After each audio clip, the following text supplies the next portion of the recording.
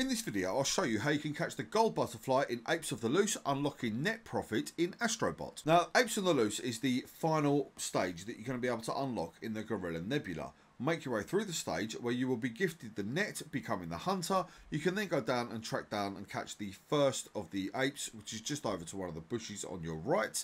You can then climb the magnetized wall to be in the upper main area. So what you essentially need to do is go to the very back of the area where a green slime will spawn, take it out, and then look to the right of the main platform and the ladder where you're going to be able to find a little bush.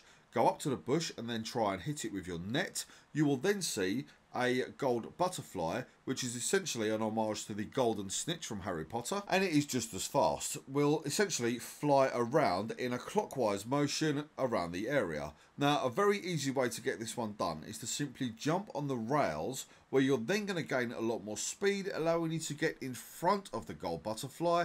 You can then essentially just wait in front of it and then net it as it tries to get past you. It may take you a few attempts as this thing is fairly proficient at dodging, but once you do manage to get it in your net, you're then going to unlock net profit. So that's a look at how to unlock net profit in Astrobot. If you're a fan of these quick, straight to the point guides, subscribe for more and I'll see you on the next one.